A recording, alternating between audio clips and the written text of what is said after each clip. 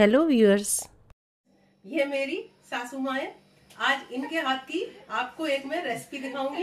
ये आज दम आलू बनाएँगी। आइए शुरू करते हैं।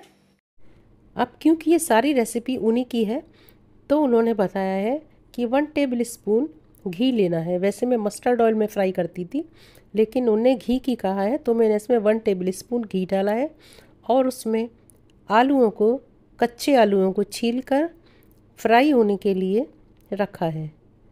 जब ये बिल्कुल पिंक हो जाएँगे, तब तक मैं इन्हें फ्राई करूँगी। ज़्यादा बड़े लग रहे हैं, इसलिए कच्चे न रह जाएँ तो मैंने बड़े आलूओं के दो दो पीस कर दिए हैं। अब ये सब एक साइज़ के आलू हो चुके हैं। अब इनका कलर चेंज हो गया है तो मैं मैंने गैस पर से उतार लूँगी। वो बता रही हैं कि अब इन्हें निकाल लेना है। तो मैं इन्हें निकाल ही लेती हूँ। उनको उठने बैठने की प्रॉब्लम है तो इसलिए वो बैठकर ही बता रही हैं और मैं बनाती जा रही हूँ। ये तीन बड़ी प्याज थी, जिसमें से कि मैंने हाफ़ ले ली हैं।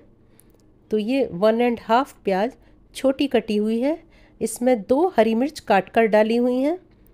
इनको मैं उसी घी में फ्राई कर रही हूँ, जिसमें मैंने आलू फ्राई किए थे।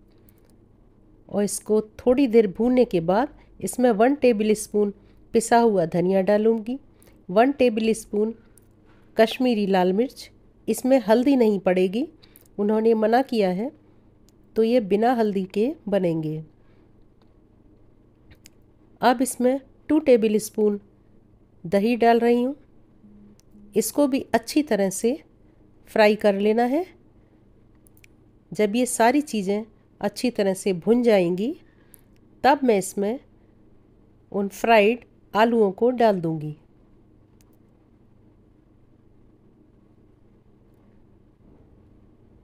और उसमें पकने के लिए थोड़ा सा पानी डालकर, स्वादानुसार नमक डालकर ढक दूँगी। ढकने के बाद इसको गैस स्लो करके पंद्रह मिनट के लिए रख दूँगी। इसके बाद इसको खोलकर चेक करना है कि आलू गले हैं या नहीं। अगर आलू गल चुके हैं तो हमारी सब्ज़ी तैयार है। अब इसमें थोड़ा सा गरम मसाला और थोड़ा सा हरा धनिया डालकर सर्व करेंगे।